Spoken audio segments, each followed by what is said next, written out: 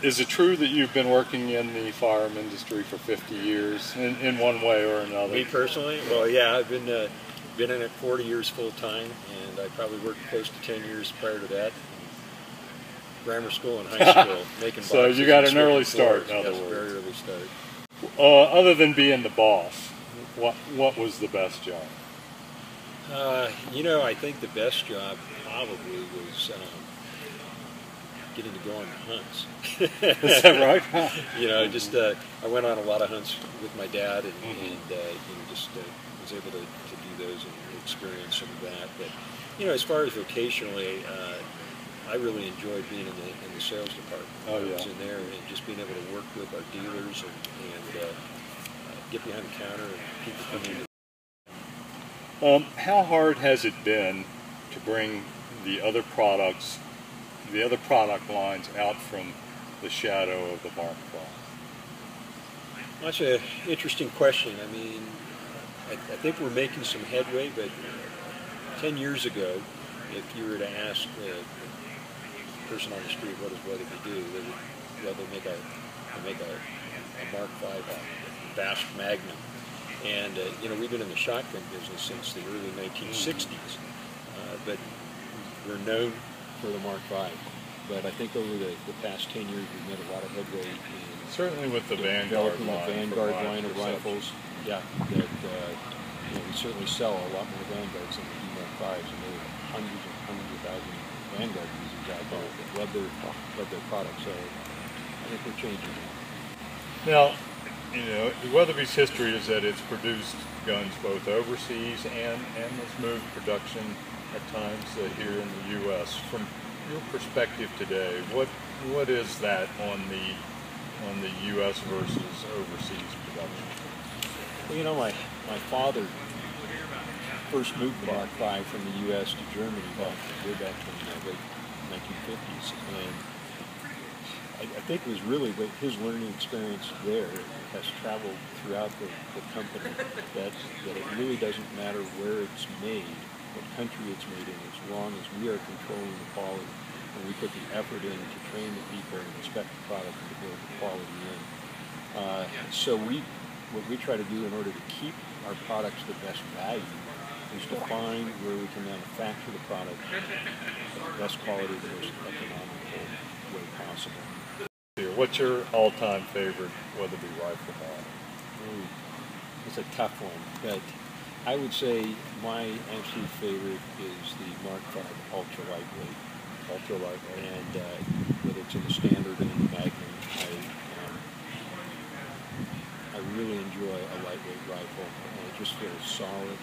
Uh, you know, if you go to the if you go to the standard, our six lug standard action, we have a 240 ultra lightweight rifle, and that is a very high performance gun. And uh, you're talking about a very lightweight. And what's your all-time favorite Weatherby caliber? You know, uh, it used to be the 270 Weatherby Magnum, and now I've come to just love the 240 Weatherby. No And I use that on uh, everything that I can use it on. Um, and I, I just love the speed of that cartridge. You know, my, my father's was always the 257. I guess I kind of sandwiched him on both sides of that with my two favorites. Can can a customer still purchase the prototypical full dress Mark V? Yes. Uh,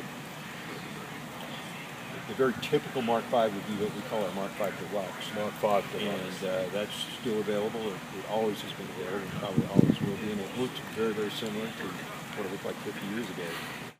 I see that uh, you're enlisting various sports and entertainment celebrities uh, to help present the public face of Weatherby today. What's your hope for that? and What's the thinking behind that? Well, it's really just broadening the base of Weatherby and getting the communication about Weatherby the markets that we haven't been in before. They, they, we're hitting a customer base that they, they're getting maybe just starting to think about shooting sports.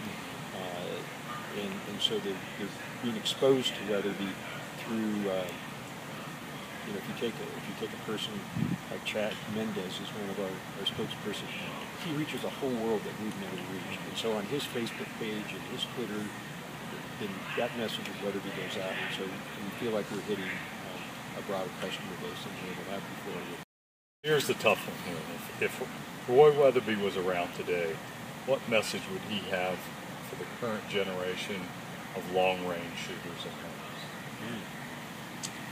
Um, and there's a, a movement today toward developing long-range shooting skills and, and Right. more emphasis on hunting it with at longer ranges. Yeah, So yeah. I'm just wondering, given what Roy Weatherby Yeah. was to the, Well, you know, the American he- firearm industry, what he would have to say about that today. Yeah. He's a Weatherby 300. I mean, he, he, you know, that was one of the, the, the theories that he had really is Right. you get these light bullets traveling at very high velocity, you have a very flat trajectory, and that allows you to reach out there beyond what traditionally you were able to. Okay, last question. Is there still a Weatherby mystique? Maybe you could answer that better than me.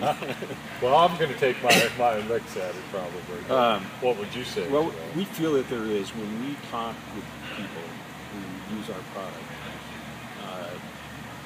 There's something magical about Weatherby. And when they're sitting around a campfire and they're talking about the gun that they have, and they say, "I have a Weatherby," um, it it still, I think, carries a mystique with it of. Uh, quality and speed, the accuracy that, that's been there from the very beginning. So we like to think that there is.